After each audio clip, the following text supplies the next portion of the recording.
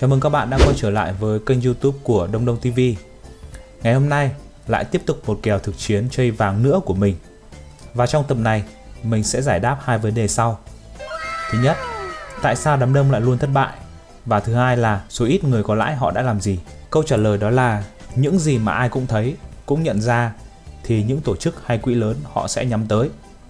Họ biết nơi nào có nhiều thanh khoản, tức là L, nơi mà có nhiều tiền được đặt nhiều nhất. Vậy thì theo bạn, với tư duy giá phá đỉnh và bạn chờ giá hồi về key level hay là đỉnh cũ hoặc đáy cũ của một xu hướng hay là những vùng OB, cá mập họ sẽ làm gì? Đúng rồi đó, họ sẽ cán L đám đông bằng việc đẩy giá về những vùng nhiều L được đặt. Vậy thì tại sao các bạn lại cứ có cùng suy nghĩ của đám đông để làm gì? Trong khi đó, có rất nhiều cách dễ dàng hơn nhưng các bạn lại không chịu làm. Vậy số ít người có lãi trong thị trường này họ có cách đánh thế nào? Câu trả lời là họ sẽ không có suy nghĩ giống như đám đông và họ không làm những việc mà đám đông hay làm. Thời điểm vào lệnh và thoát lệnh cực kỳ là quan trọng. Do vậy, họ sẽ có lãi trong thời gian dài và tăng trưởng tài khoản một cách đều đặn. Để thay đổi được suy nghĩ giống như đám đông, hãy nhìn vào cách mà mình giao dịch với phương pháp scalping semi auto. Và đây là nửa tháng giao dịch của mình trên Lead Finance. Tài khoản này mình cho phép copy, đánh số lượng siêu nhỏ để bảo toàn vốn. Ba cặp chính mình giao dịch trên tài khoản này là vàng, EU và GU. Không phải là x2, x3 tài khoản trong thời gian ngắn mà là tăng trưởng phải đều đặn và bảo toàn được vốn.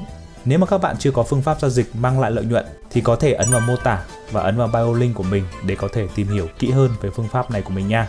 Và bây giờ hãy cùng mình thực chiến giao dịch vàng ngày hôm nay, tức là 20 tháng 6 nha. Không sâu bách test xuông, không chơi mõm. Mình giao dịch thực chiến và bạn cũng thế. Bắt đầu nha. Trước khi vào lệnh mua này, mình sẽ liệt kê các điều kiện đủ để có thể ấn tự động giao dịch. Nếu không đủ điều kiện mình sẽ hủy kèo. Thứ nhất, đó là thời điểm. Thứ hai, đó là giá đã vào vùng discount, tức là vùng giá được săn đón. Thứ ba, đó là nến. Thứ tư, đó là biểu đồ footprint.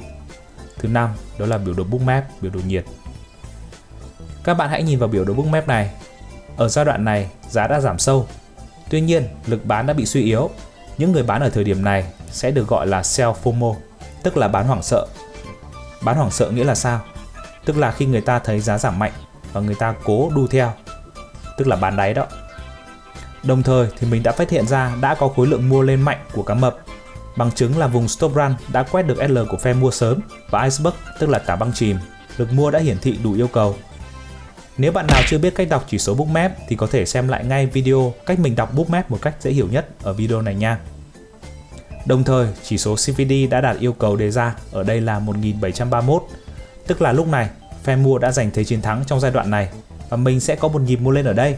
Đương nhiên là mình sẽ chỉ biết rằng ở giai đoạn ngắn này sẽ có điều chỉnh hoặc là đảo chiều hẳn. Cho nên, phương pháp này của mình mới gọi là phương pháp scalping.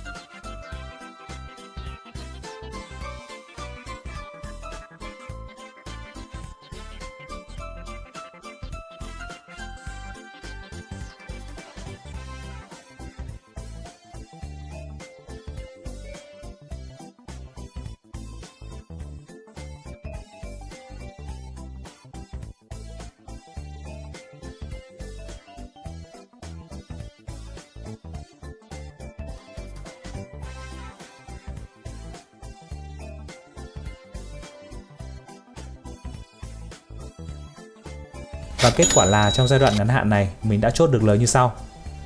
Cực kỳ thực dụng và chốt lời đúng lúc.